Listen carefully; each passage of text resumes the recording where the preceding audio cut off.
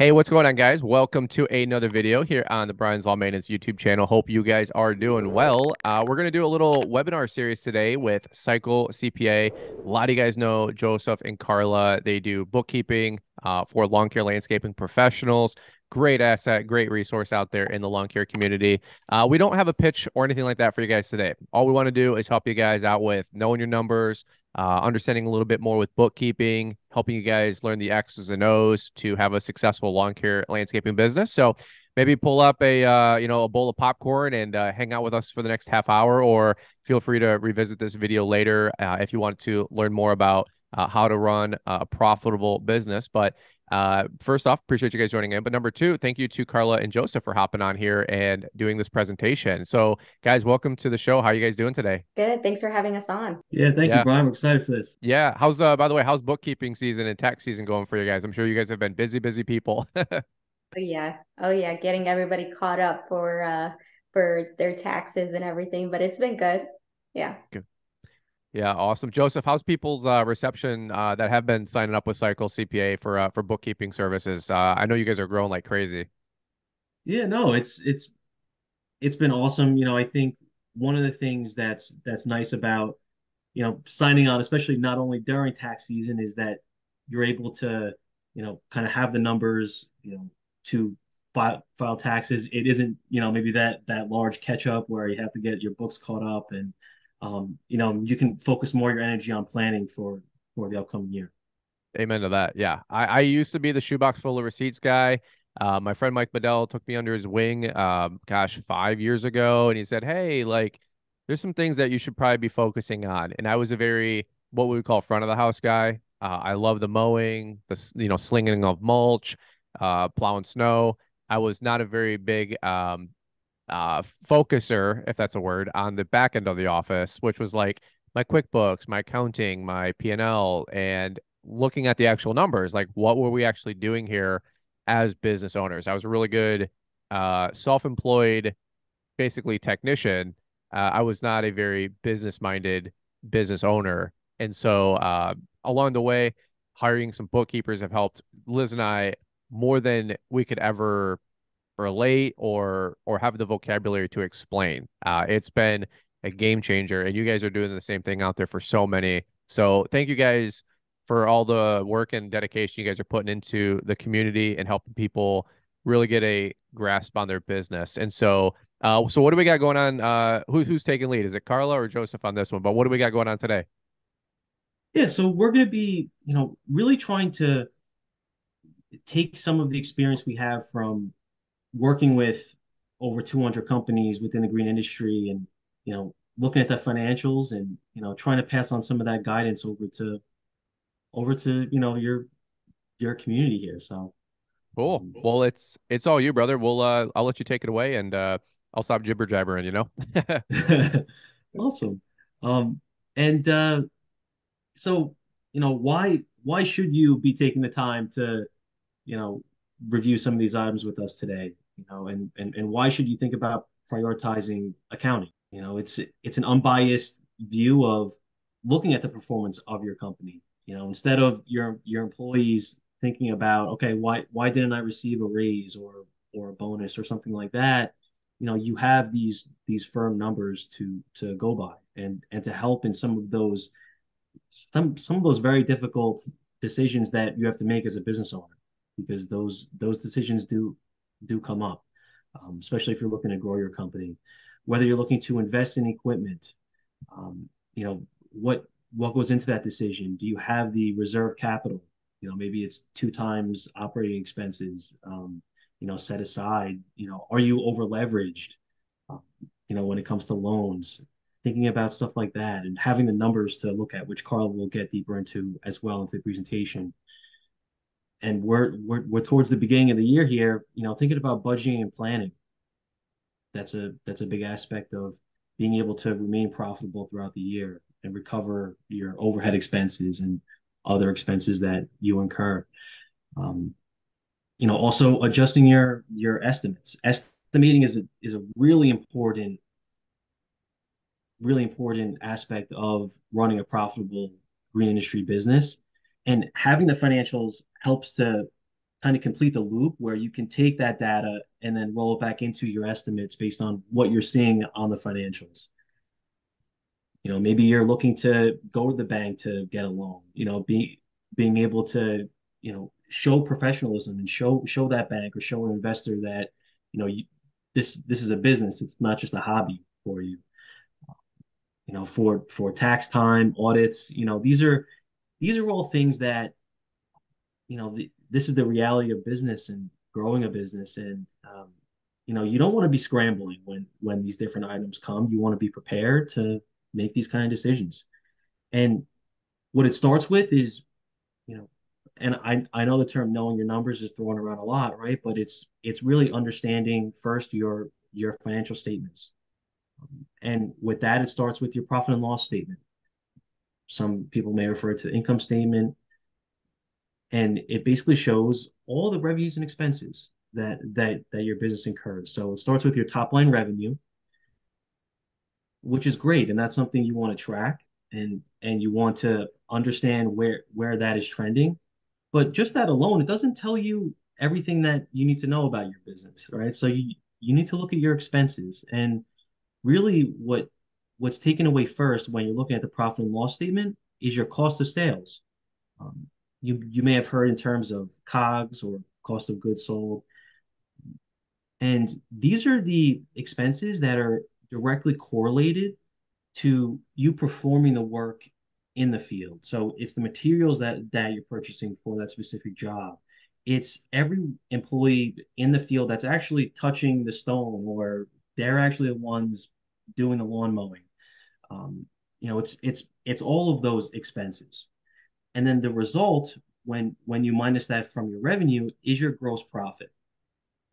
And a typical gross margin goal is anywhere between 50 to, to 55% of, of your total revenue.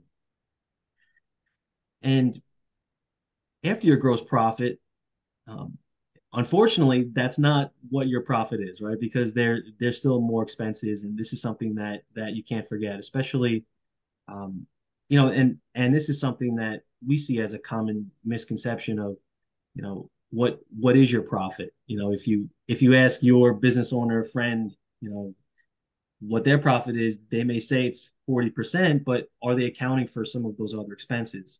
And those other expenses are overhead expenses, right? So it's it's everything that isn't directly correlated with you producing the work in the field. So it's your marketing expenses, insurance, um, it's your accounting team, um, dues and subscriptions, different things like that, and and then your result is your net profit.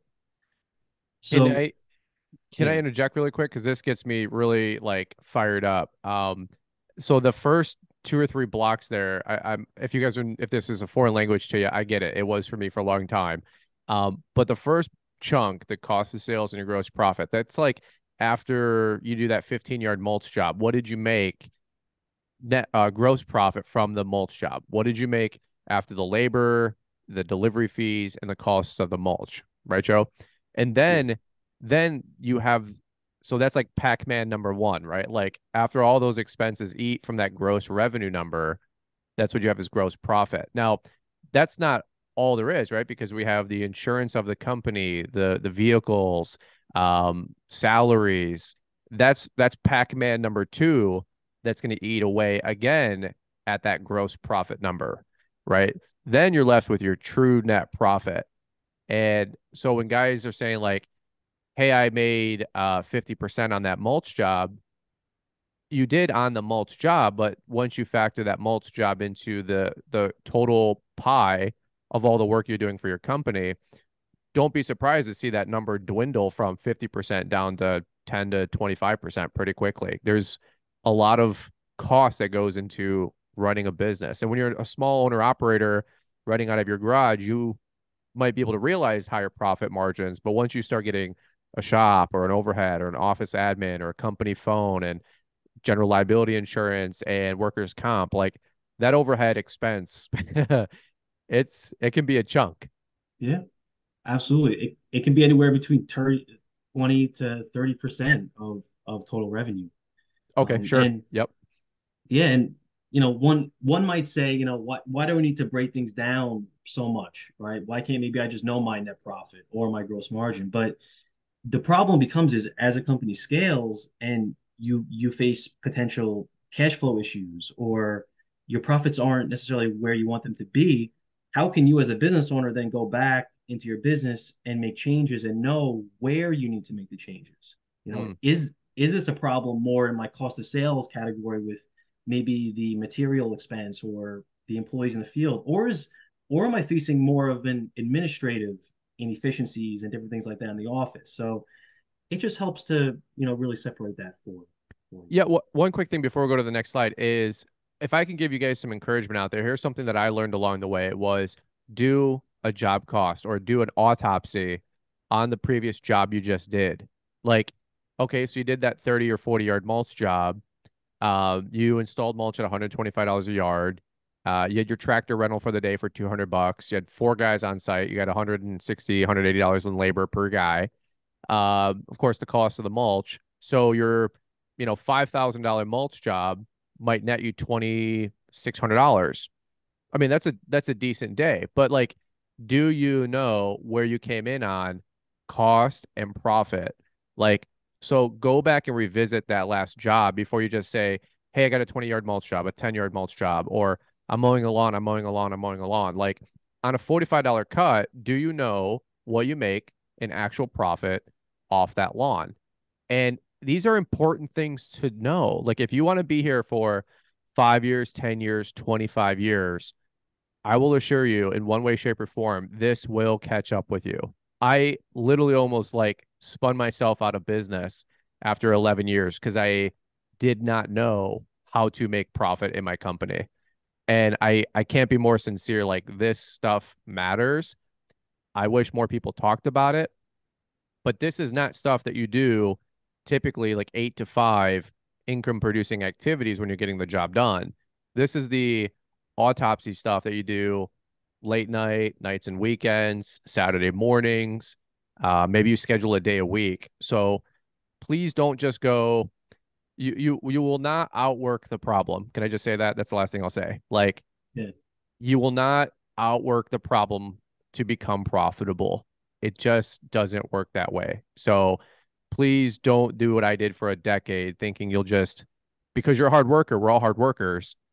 That you'll just out earn the problem. It it does not work that way typically in business. You have to know your numbers, and work hard, right? So, um, just a little soapbox, Joe. Sorry to interrupt, but yeah, I, no, I, yeah, yeah, no, I, I, I totally agree, Brian, and and and I think that's a, um, you know that that's that's a common reoccurring um, problem that that we see within business owners where you kind of get to that point where just doing more volume, doing more work, working harder is not going to patch up the problems.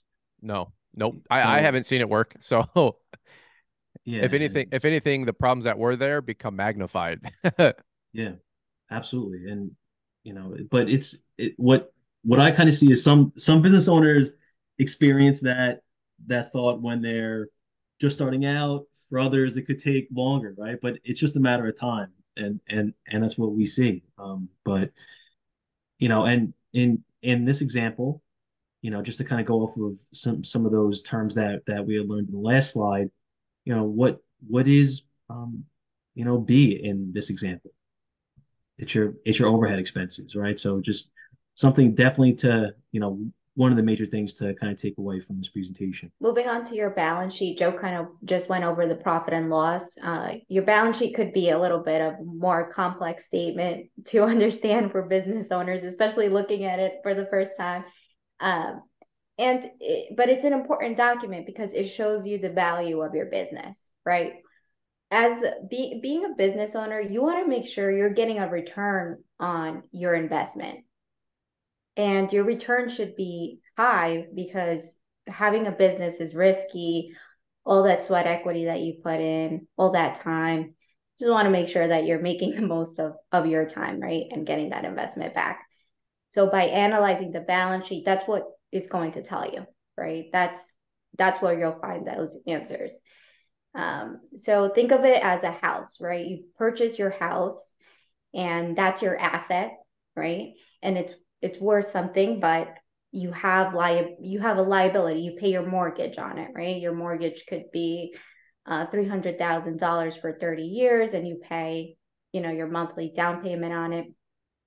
And then you, I'm sorry, you have you have your monthly payment, but you also have your down payment that you initially made on it, which is your initial investment, and that's what we call equity, right? In in your home, the balance sheet kind of works out the same way, right?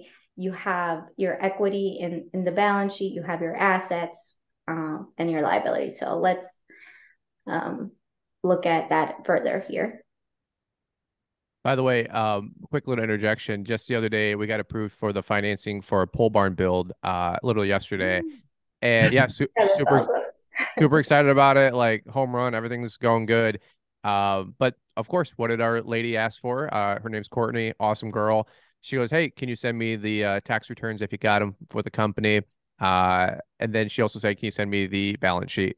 And I said, "I've got both." I said, "Yes, ma'am." And it took her less than a day to sift through that to realize that you know, thank God, but of course, you know that we're approved uh, for the uh, loan that we're trying to take out for the pole barn. But five years ago, I would have said, Courtney, I have no idea. And I would have said I've got a shoebox full of receipts. But that's not going to help you guys when you're trying to buy your next truck or get a barn or like Carla said, try to get a mortgage for a home. It's it's very, very important stuff. I don't want to nerd out on you guys, but this is really, really important stuff. Yeah. Yeah. And I mean, you, see the assets that that Brian has in his business over there, all, all cool with the trailer and the mowers and stuff. That's that's what we see in the balance sheet, right? And and that's your assets. So in the asset section, you're going to have your bank accounts, right? And basically, your assets are things that are going to benefit the business. So, what's working for you, right? So, your bank accounts, your checking, your savings, that's all benefiting the business um, in the short term, right? Every day you're using uh, that cash.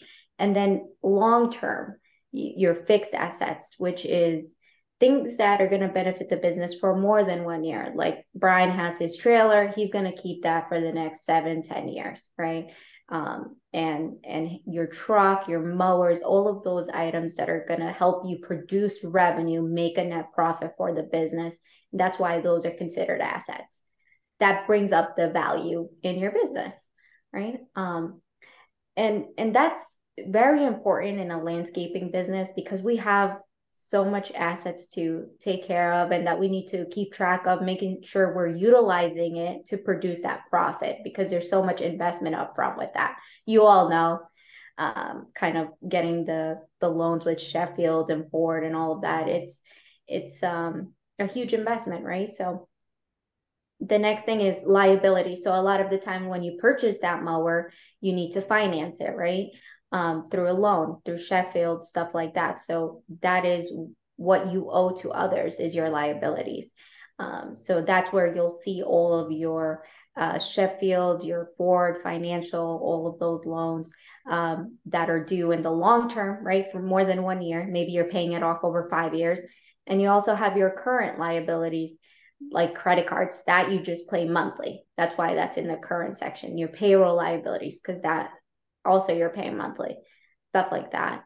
We um, just we just had payroll go. I literally before we jumped on was checking Chase Bank, checking my business accounts, saw payroll process. I'm like, oh, it's just it's just funny seeing the you know the the cash flow. Which and then I went over to Yardbook and I was looking at all of our invoices, making sure everybody's um my accounts receivable is on time, nobody's um delinquent. Which tomorrow is a new month, so um, a couple people uh, are going to be running at Redline, and then we'll send out some reminders. But that's that's why you got to keep up on all this stuff, right? Like uh, money in, money out, and hopefully, right, there's some profit left over. exactly, exactly. And um, lastly, you have your equity section, and that's the value of the business. That's your stake in the business, and what you want to see is that your equity goes up. So, what are things that increase the equity, the value of the business? It's producing a profit year over year. Once you produce those profits, that gets dumped into your equity and it keeps accumulating over time. So if this year's your first year, uh, last year, let's say is your first year of being in business and you made 50,000 in profit, that gets dumped into your equity. This year you make another 50,000. Now all of a sudden your equity becomes a hundred thousand dollars in the business, right? Um, so that's that's what we can do to keep increasing that. And some things that decrease your equity, which is not good, right, is losses, which is normal. With the first couple years that you're in business is normal, but usually by the third, uh, fourth year, you want to start turning a profit, right, to kind of uh, wash those losses out. Um, and another thing is owner's draws. So if you're missing, if you're mixing personal expenses in your business bank account, it's going to get dumped into your equity and it's going to lower that value. This is good. This is good. Um, one quick interjection. If uh, if this is all again foreign language to you guys, or even if it's something that you guys want to learn more about, uh, really good book out there. I personally like it. Um, I won't speak for Carla and Joseph, but um, Rich Dad Poor Dad by Robert Kiyosaki. Such a great read. It's such an easy read. Um, a friend of mine put that in my hands when I was 18 or 19 years old, and it literally fundamentally changed the way I looked at how to make money and business. I mean, honestly, it fundamentally changed because I was a blank slate. so it was the first time somebody put something like good in, like garbage in, garbage out. Well, if you put good in, you'll get good out. So if you guys are looking to, um, I'm not going to give a whole pitch on the book, but if you're trying to understand finance, uh, financial literacy, and some of these terms, asset, liability, equity, um, balance sheet, start with that book. There's some really good visual di- uh, diagrams in there, whatever they call it. I'm telling you, it's a fantastic read. Um, it's 20 bucks on Amazon, story form book. You can literally power through it in two, three hours. Um, uh, uh, do you guys have you guys ever read that book? Do you guys like that book? Yes. Yeah, I like yeah, it's, it's, a, it's a classic. It's, it's, it's a classic. It's definitely a must read. I, I I was trying to read some stats on it the other day. I think he sold like 30 or 40 million copies. Like wow. I, I, published a book, um, zero to 100k, and we talk a lot about this these things in some of the chapters. Um, and we're selling like you know two or three copies a day. Praise the Lord. and I told Liz, I was just having breakfast this morning. I told Liz, I'm like, can you imagine selling like 10,000 copies of your book a day or something like that? Like, I, maybe more. I it's just wild to me, but it's a great book. It's an easy read, and um, that's why it's a bestseller. So, any which way, uh, let's keep it going. Sorry about that. yeah, no, you're good.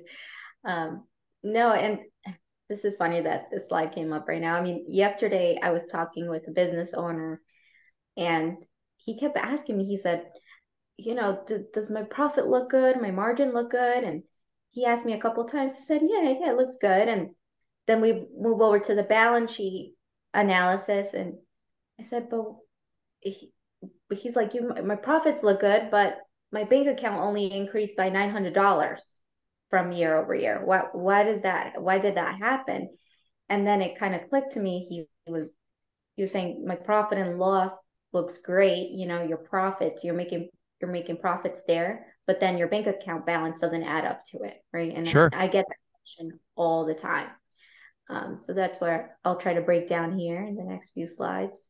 But um, really you want to look at your statement of cash flow, which is the third um, financial statement. So we went through the profit and loss balance sheet. Uh, the third one is statement of cash flows. And what this shows you is the money that came into your business bank account and the money that left your business bank account. And it reconciles all that for you back to your ending balance in your checking account, which is, you know, great because it really shows you what you spent the money on. And um, there are three sections in the statement of cash flows. There's cash flow, money that came in and out due to operating activities. So what that is is what you were saying, Brian, the accounts receivable that you're receiving from your clients, right? Collections, um, your accounts payable, money that's coming out for your overhead expenses, um, cost of goods sold, materials, stuff like that. So that's the first section and what it will show you. Uh, the second section is cash flow from investing activities. So what that means is it's showing you the money that you spent on mowers, trucks, trailers, on your fixed assets. Um, so the third section is the cash flow from financing activities. So this shows you the money that you spent on loans that you owe to others. So your Sheffield, your Ford loans, that's where you'll see all of that and it kind of reconciles all that for you. And then at the end, like I said, you'll get your ending balance in your bank account. But um, kind of to con- continue the story here with with that uh, business owner, it turns out that first he, he didn't pay himself a salary on the books, so no W two wage. So that's why the profit looks so good because he wasn't paying himself. And then when we go to the balance sheet, we see that he was taking all those owner's draws out. So he was kind of running his personal expenses, his mortgage.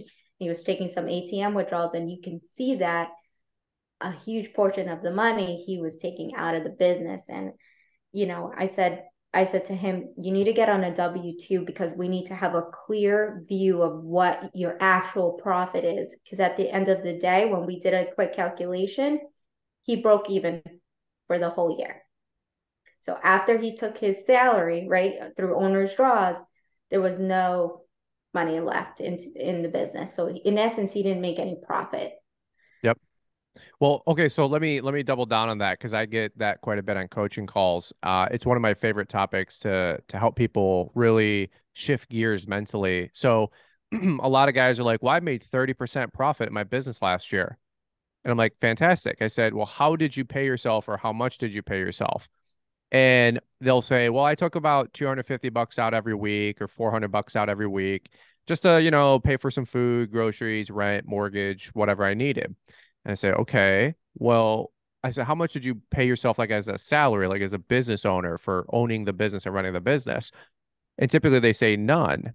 I say, "Okay, well, let's say that to live your life and expenses it was $30,000 a year.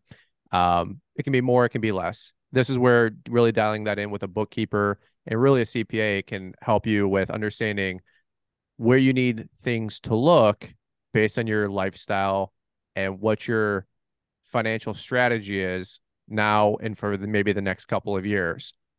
And there's a lot in between what I just said there. So talk to your CPA. Okay. when you start talking, like there's a statement out there, like in accounting, you can make two plus two equal four. You can make two plus two look like 22. Okay. So I'm trying to keep this broad and high level, but there's some things in there I'm saying off the record. Okay. Like what I what I want to convey though really quickly is if you have 30% profit, but you didn't pay yourself a salary, uh, you didn't have 30% profit. Okay. So like what Carla is also trying to say without being mean is let's add a $30,000 or whatever you need, right? To pay yourself a reasonable salary. By the way, I get this question all the time too. Sorry to go rabbit hole to rabbit hole, but welcome to my content. But a reasonable salary, best I understand it, and this is the tough technical definition, but I'm just putting an asterisk there. This isn't financial advice, but you have to pay yourself a reasonable salary that would cover your family's life expenses. So if you need 70 grand a year and you're paying yourself 30 grand on salary and 40 grand on distributions, although that's not awful, that's a good strategy. Um, you may get bit you might be susceptible to an audit. You you I, am all about shoring your life up with distributions and owners draws, but the core expenses of your life's eh, uh to run your family uh, household has to come from a salary. So don't let anybody tell you that otherwise. And that's Brian's lawn maintenance on the record. Okay. So pay yourself a 30, 40, 50,000 dollars salary, then talk to your CPA about distributions and owner's draw and how to maybe mitigate some of your tax liability. Okay. Again, not financial advice, but again, all the time, Carla, like you were just saying, you get people that say, well, you have a 30 or 40% margin. And I said, well, did you pay yourself 30 grand a year or 20 grand a year or 40 grand a year? Once they factor that back in, they realize their profit margin is 2%, 5%, 7%, 10%. And and then some guys are like, well, I hear other high level CRMs do trainings saying a 10% profit margin, true net profit is pretty healthy. And they say, well, I smoke that by 30 or 40%.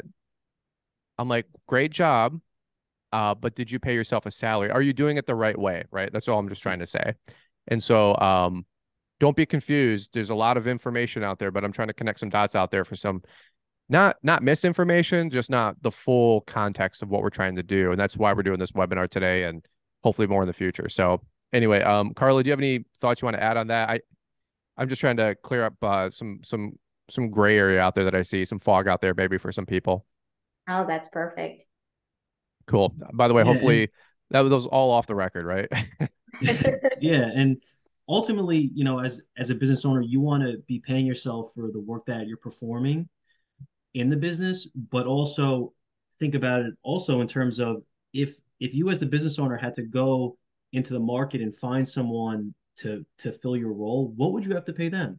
Yes. And if your goal is to ultimately, you know, leave the field, right, and maybe work more on the business, you know, those are all things that, you know, you should be thinking about now because ultimately you will have to eventually hire someone to, you know, take up a lot of those. And um, if if you're not doing things as Brian mentioned, where where you are accounting for your salary now, then, you know, in the future when you do make that move, it's it's going to be pretty pretty evident. That that was my biggest mistake my first decade is I thought I was free labor. I. I I was like I was like your guy's cutting the lawn for 40 bucks, man, I can do it for 25. After all, I'm free labor. Like I thought that's what you did. I it's so glaringly obvious, but um that's not the right approach as you guys can imagine. But I was like, man, I don't have the same overhead as these guys. They have a a shop. I was running it out of my mom's shed once you really start factoring all these things in, that's why the price of lawns has to be 45, 50, 55 bucks, not this 20, $25 stuff. And again, I'm just trying to save you guys. Like we always say, begin with the end in mind. You'll re- you'll realize this getting baptized by fire one way or another. It might take you one year, it might take you 10 years. Um, but you will realize eventually like this stuff has to be uh, factored in. And then all of a sudden you'll go, oh my God, like that's why lawn should be $45 a mow. And then to go, all these darn $20 guys. And it's like, it's like the industry 101. It just, it's, uh, I was there. I was that guy. And, um, any which way, Carla, you, you look like you're excited to say something to correct me. Oh, no, no. so, but does that make sense to you guys? Like that's, I want to help you guys out. So, all right, Yeah, Carla, you, you can keep going. Sorry for the, all the interruptions. no, no, it was good stuff. Good stuff. Yeah, we can move on. All right. So, kind of to break this down a little bit for, further and really to show you all why the three financial statements are important to review, not just the profit and loss. We're going to compare these two companies side by side here. Uh, we have company A on the left, company company B on the right. And if if I were to ask you all by looking at their net profit, you know, which which company do we believe that is performing better financially? You know, you all would say company A, 15% profit, right? Um, but you know, it there's more of a story to tell, right? When we go through all of the uh the financials. So let's let's visit the uh, balance sheet. So company A is on on the left with the 15% profit, company B on the on the right with the 12% profit. Let's go down the balance sheet. So we have the assets here, and you can see that. Remember, we spoke about that's your trucks, your trailers, your your uh, checking savings account. You can see that company A has more assets uh, than company B does, right? And then as far as liabilities, you can see that A is is has more liabilities. They owe more to to others, right? They have more loans and stuff like that. Um, but they also have a little bit more equity, right? More value in the business. But really, I mean, looking at these numbers is not going to tell you too much comparing this side by side. What you need to do is you need to take these numbers and calculate some balance sheet metrics, right? Or, or KPIs. So the first one is return on fixed assets. So what that tells us is how much net profit is your mower, your truck, your trailer producing for your business? And that's a big one, guys, because again, like I said, you're making a lot of investment in these big purchases, but it's worth nothing if it's not really producing a profit for you, right? If you're not utilizing it the correct way. And so this metric is going to tell you that. And um, we have a we have a little uh, cheat sheet for you all that we sent to Brian, and he'll send it out to you guys with all those formulas and stuff if you want it. But um, right here we can see that company B 2.25, right? Um, it, it they're producing they're they're producing better with their fixed assets, right? They're utilizing their trucks, machine equipment better to produce uh, a profit. And the reason for that is because even though their profit is only 12%, proportionately to what their assets are, 110, they're doing more with those assets, right? Than than company A is. Um, so so they're doing better on that end. They're using it more efficiently.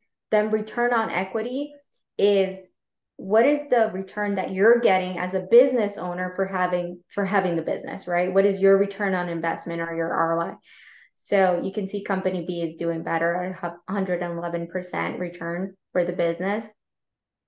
And liquidity is how efficiently and effectively can you pay your bills, your sales tax bill, your payroll bills, uh, materials bills, all of that. And you can see that company B is doing better with this as well.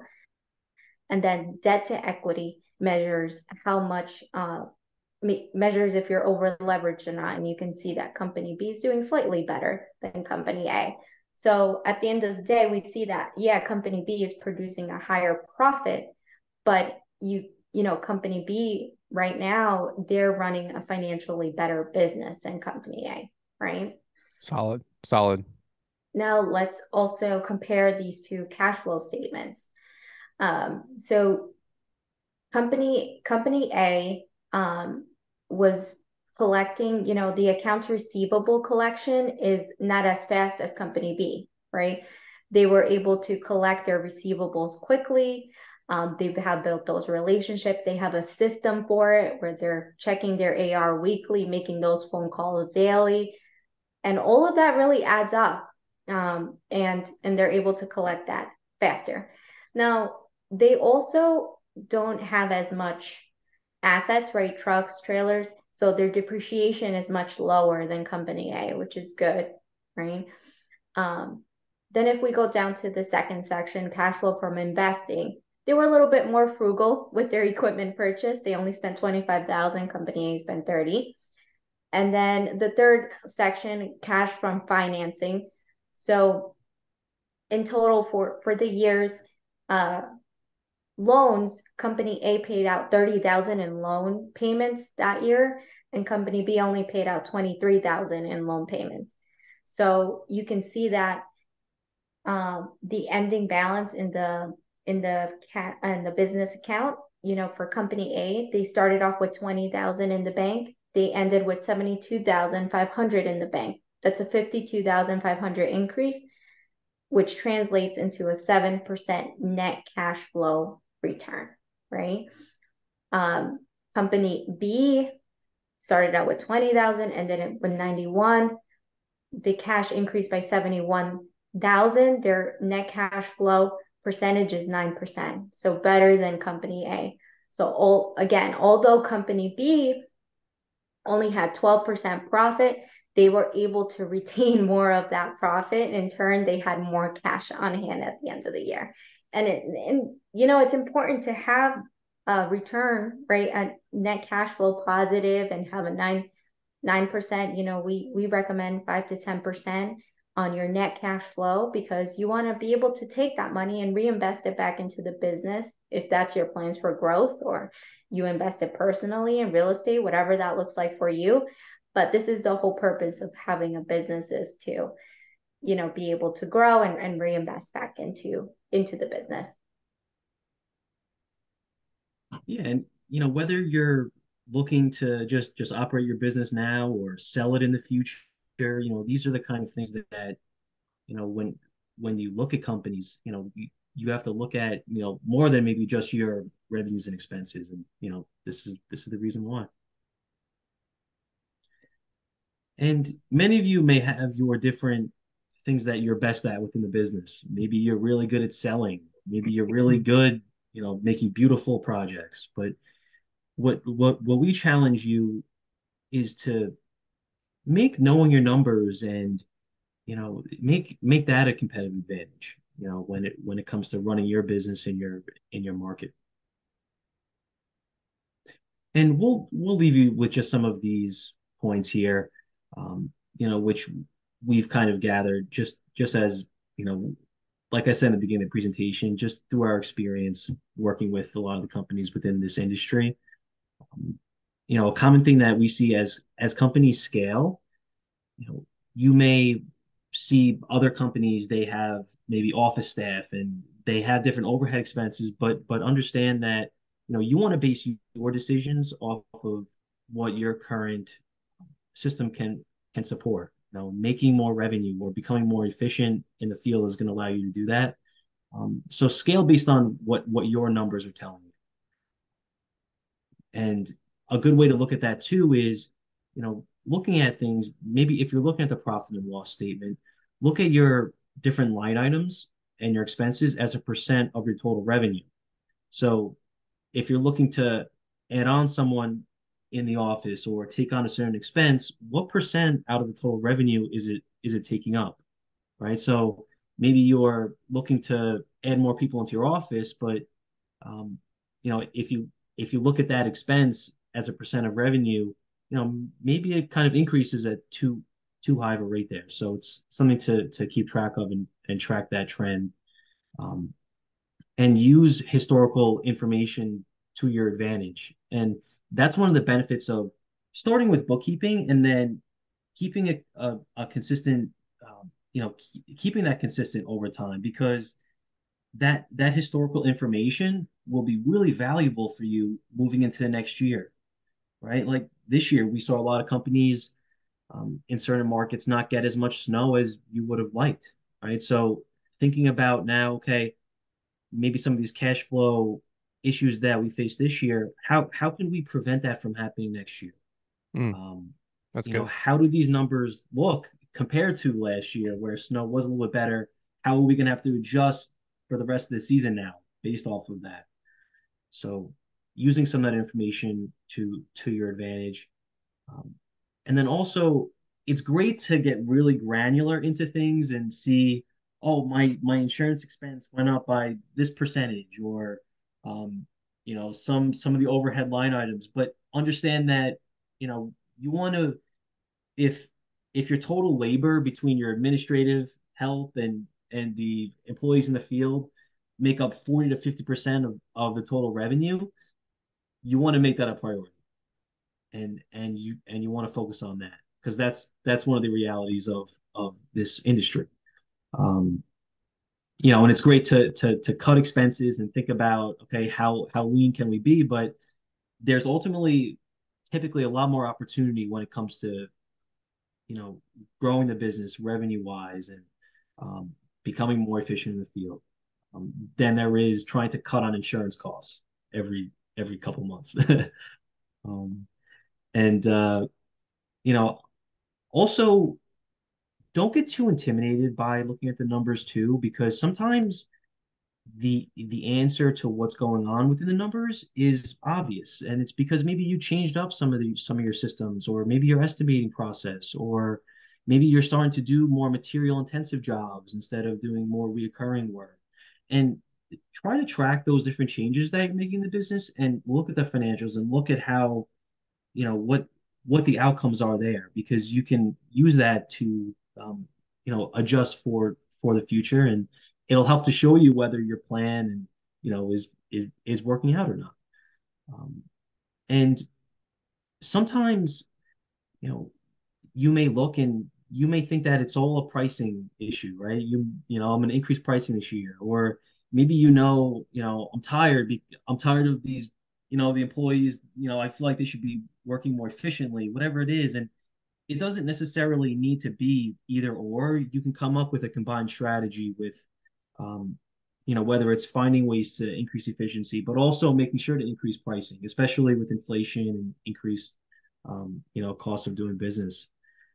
And point point number six. So every company optimizes in their own way. So when you're talking to someone to maybe a, another local business owner or you're in a Facebook group or a forum and you know people are talking about a certain profit margin or a way that they do things.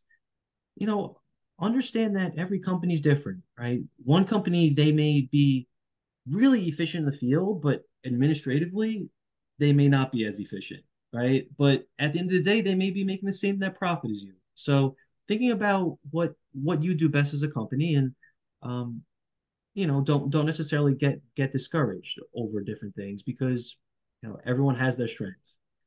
And the last point here, you know, just as Carla with some of the ratios that she was going over, it you know kind of compares some of the metrics to your net profit and on and a main example of this I'd say is within your marketing investment, um, you know, or or other investments that you make into your company you want to ultimately see what effect is it having on net profit, not just revenue, right? Because that's really what's going to enable you to, if you do want to continue to grow the company, to invest back into your company and support your family and, you know, be able to really take this business into the future. As as Brian said, you know, there's there's a difference between being able to operate the business for a few years versus what is that long-term strategy that's going to get you through downturns or you know if your key employee leaves? Um, or maybe if you know maybe if your wife or partner gets pregnant right? So thinking about all, all those different things that that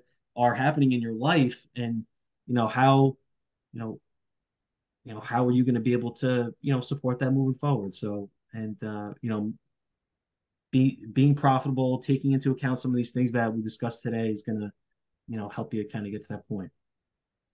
Couldn't have said it better, man. You guys are awesome. That's why I love uh, partnering with you guys. Oh, hey, we got another slide. I'm sorry to interrupt. yeah, no, no. This is, you know, this is basically it, Brian. And, um, you know, for as, uh, you know, if for for those of you that that made it through an entire presentation about accounting, um, you do get Brian's offer of uh, and I get uh, two hundred dollars off too. Awesome, man, and and ton of you guys have been taking advantage of that. Uh, I'm super excited about giving you guys resources out there that you can use to grow your company. If you need a bookkeeper, check out Cycle CPA. I think they do fantastic work. I know they do because I've we've we've held each other both to uh, our feet to the uh, to the coals, making sure that it's a high integrity uh, relationship for real. I, I don't want to just promote anybody out there. Uh, these guys have been just such a class act, and you guys did such a great job at LAL. I know dozens and dozens of people got to uh, have conversations with you guys in between your presentation uh, that day last November, and nothing but great feedback from everybody that I have had the chance to catch up that got to talk to you guys. Um, if you guys are struggling with this stuff or you're you're excited about going to the next level and just hiring a bookkeeper um, I would say like there's like the three horsemen to like help you with your back end of your company. If, at least this is what my story is. There's a payroll company, uh, a CPA, and then a bookkeeper. And the data that your CPA is going to typically use is going to be directly related to all the info you get from your payroll people, and even more so from your bookkeeper. So a good tax accountant and CPA, there's a lot of things that they're going to offer and do for you, but a bunch of that data is going to be derived from your books and you have to have good books. I, I can't implore you guys enough. And so, hey, it's a busy time of the year. It's the spring rush. The schedule is going crazy. I get it. Um, but don't wait. And, and I don't have a picture. I'm just telling you guys, don't wait until November, December this year to sign up with a bookkeeper, whether it's Cycle or someone in your small town or your don't go with your mom or your brother or sister-in-law okay? Like that's not a good bookkeeper unless they're like accounting certified and quickbooks certified and all this other mess. But my point is don't wait until don't kick the can to september october november. Like think about it. Like if your business is struggling for cash and profitability now and you're saying i'm going to wait six months until i get this figured out like that makes no sense to me. Like why wait until september october november to connect the dots and see if you're actually profitable in the work you're going to do for the rest of the season. So, hey, if you can only give these guys two or three hours a month and you're just going to on ramp slowly and then two, three hours and just make a dedicated, hey, Thursday morning from nine to 10, I'm going to get with these guys once a month or uh, once or twice a month until I on ramp and get things cleaned up. Please, I, I just, I, I plead just for your guys' sanity, like make it a priority. Uh, the lawns can wait, the mulch job can wait. It'll all get done. Work a couple extra hours one evening, whatever you got to do. If you got to invert your schedule, uh, we've all been there. But don't dismiss all this great info for 30 minutes and just saying, hey, that's nice. Like having a quality bookkeeper and understanding these documents has changed my life more than cutting grass or mulch or the X's and O's of the business. Okay. Like the back end office work has made us better business people. Right. And that's changed our life, our lifestyle. Okay. So I really implore you guys to connect the, uh, your caboose with uh, Carla and Joseph. I think they're some of the best.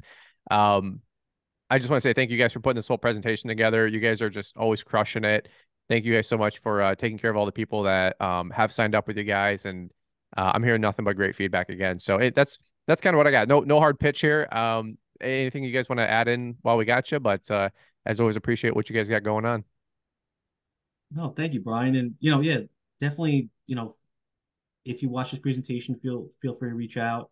You know, I think the the bookkeeping piece fortunately is one of the easiest things to kind of outsource, especially as you're kind of, you know, getting started and ramping up your company. Um, it's it is nice in that way with the different technology now with QuickBooks Online, and um, so definitely definitely take advantage of that. Um, but yeah, no, it was had a great time today. Thank you, Brian. Yeah, thank you. For sure. Well, really quick, uh, a lot of you guys know we wrote the book Zero to 100K. This is the Spanish version, which I'm super excited about. Talk a lot about knowing your numbers in this book.